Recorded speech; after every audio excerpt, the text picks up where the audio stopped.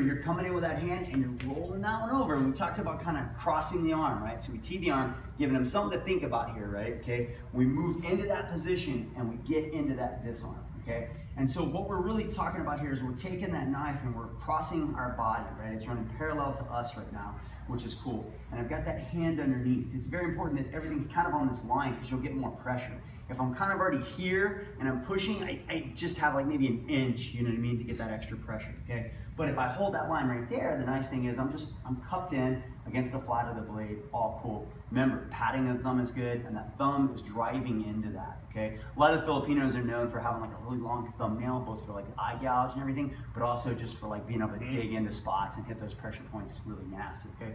So when I go to this one and I'm peeling, my goal again is to go back to that jar concept, okay?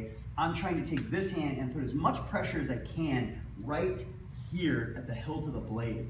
That goes against the two digits that basically, if you've ever done like the rock climbing thing, you know, to strengthen your grip, or, or anytime you're trying to grab, you're like, those two fingers are so weak, right? Mm-hmm. Compared to these three, okay? So we wanna push that blade against those. And even, even just pushing with my finger, look how much space gets into that spot right there that makes sense? So that's the sweet spot, okay? All right, so we wanna definitely push against those because they can't hold as much.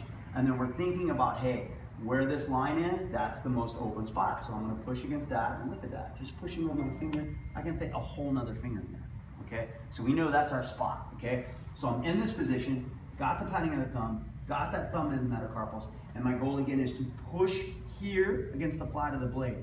As I'm doing that, I wanna increase the leverage point. So as I'm pushing with this one right here, all I want to do is take his hand and turn against that pressure, okay? So as if I was like, oh, I just heard a text, okay? So I just go back to who's, who's calling me, who's messaging me, okay? So I'm just going to look at the palm.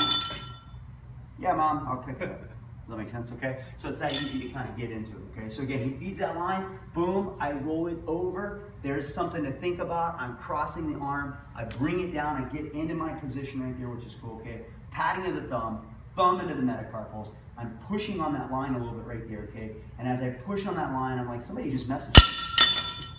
That makes sense. So just whoop, look at your hand. Most, most people, yeah, isn't it cool? Yeah. And I mean, it's not as bad as it could be, right? But as soon as I put my thumb in the right spot, you're like, you feel it right in here. Yeah, you feel that separation, right? So, everybody got it?